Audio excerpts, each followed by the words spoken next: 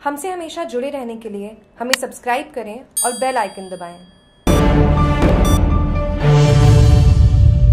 ज़्यादा से ज़्यादा टीकाकरण पर ध्यान दे केंद्र, राज्य को अधिक टीके उपलब्ध करवाए गहलोत राजस्थान व देश के अन्य राज्यों में कोरोना वायरस से संक्रमित होने वालों की संख्या में एक बार फिर तेज़ी हो रही एक बार फिर तेज़ी से हो रही बढ़ोतरी पर चिंता जताते हुए मुख्यमंत्री अशोक गहलोत ने मंगलवार को कहा कि केंद्र सरकार को ज़्यादा से ज़्यादा लोगों के कोरोना वायरस प्रतिरक्षण टीकाकरण पर ध्यान केंद्रित करना चाहिए।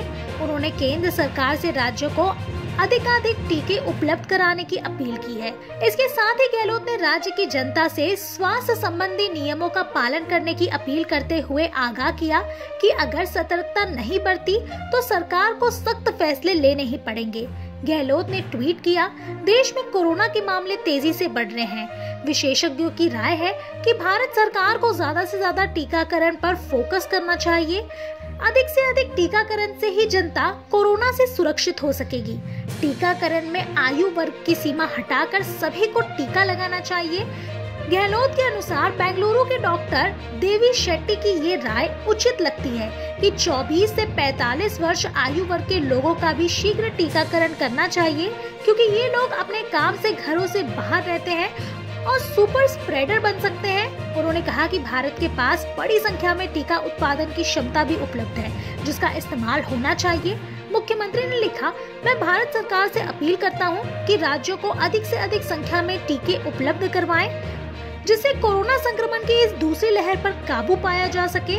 कोरोना के मामले बढ़ने पर एक और लॉकडाउन आजीविका के लिए घातक साबित होगा। गहलोत ने कहा कि राजस्थान में 11 मार्च को कोरोना संक्रमण के 203 मामले आए थे। 22 मार्च को ये संख्या 602 पर पहुँच गई। गत 11 दिनों में ही कोरोना के नए मामलों की संख्या करीब तीन गुना बढ़ गई है। उन्होंने कहा अगर अभी भी लापरवाही बरती गई तो स्थिति बिगड़ सकती है। इसलिए मास्क लगाएँ, हाथ धोएँ एवं सामाजिक दूरी का अनुपालन करें।